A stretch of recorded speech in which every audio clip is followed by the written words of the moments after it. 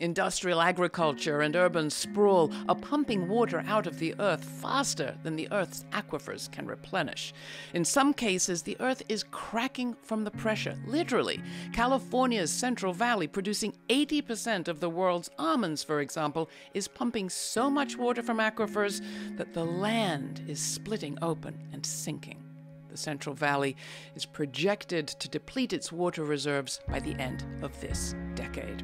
Experts are sounding the alarm, but it's an alarm that some populations, including indigenous nations, farm workers, and many Midwesterners, have been feeling for decades. And as with so many of our climate and environmental crises, people of color have been affected most of all.